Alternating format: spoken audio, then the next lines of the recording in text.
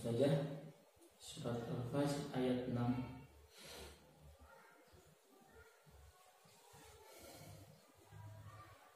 Alam taro kaifa fa'ala rabbuka bi'ad?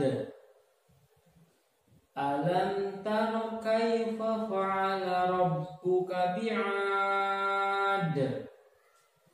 Alam taro kaifa fa'ala rabbuka bi'ad Jadi di akhir ayatnya terdapat huruf da Huruf da ini adalah huruf kolkolah. Huruf kolkolah ada lima. Ba, ja, da, to, ko. Itu termasuk huruf kolkolah. Kolkolah terbagi dua. Yang pertama kol-kolah sugro yaitu kol-kolah kecil. Yang kedua adalah kol-kolah kubro yaitu besar. Kol-kolah artinya pantulan. Seperti bi'ad belakangnya de de kul huwallahu ahad. Nah, seperti itu. Selanjutnya ayat ke-7.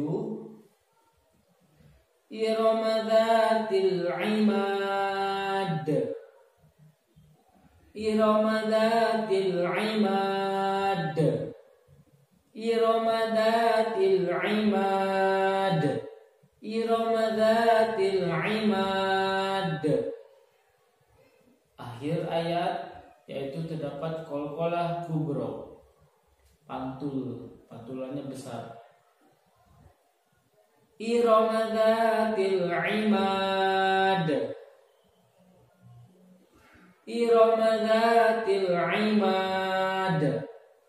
Ra, ra-nya, ra-nya itu termasuk huruf mad. Nah, mad, pada mad asli ada mad topi. Dikarenakan ada huruf alif.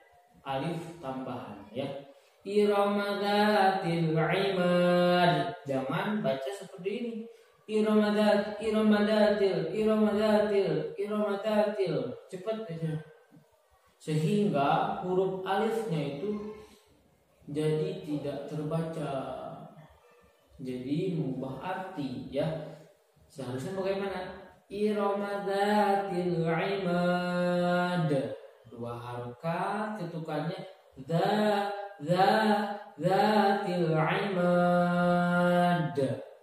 Jangan lupa Akhir ayatnya itu Terdapat Kol-kola Huruf kol-kola. Kol-kola ada pantulan Iramadatil imad. De de nah seperti itu. Lanjut. Kemudian ayat ke-8 allati lam yukhlaq misluha fil bilad. Allati lam yukhlaq misluha fil bilad. Allati lam yukhlaq mithluha fil bilad. Di sini ada allati, allati. Tidak boleh dibaca al al al. Nggak boleh. Itu jadi salah bacaannya. Seharusnya bagaimana selewat aja. Allati allati allati. Seperti itu. Allati lam yukhlaq. Allati allati. Selewat. Nggak boleh. Al nggak boleh. Allati lam yukhlaq. Lam yukhlaq. Nah di sini ada huruf kolkolah lagi. Ingat ada dua kolkolah kolkolah sukro sama kolkolah kubro kalau kolkolah Sugro seperti ini, dia ada di pertengahan ayat. Allati lam yukhlaqa. Nah, langsung melanjutkan lagi.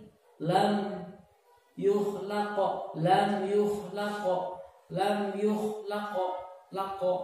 Kalau tadi perbedaan sama kalau kubro satu pantulan. Imad.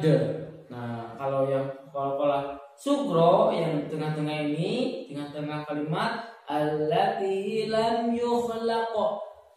Satukan pantulannya ke huruf yang selanjutnya. Lam yukhlaqo, lako, lako, langsung, langsung. Lako, lako. Nah, seperti itu.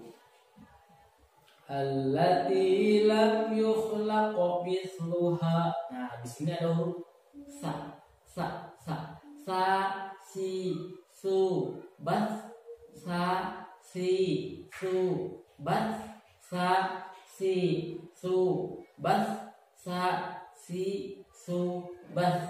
Mis mis. Nah awas kedua awas tukar sama huruf sin. Huruf sin atau sok. Ya Allati lam yukhlaq mithluha fil bilad. Akhir ayat pantulkan itu huruf kolkola kolkola apa namanya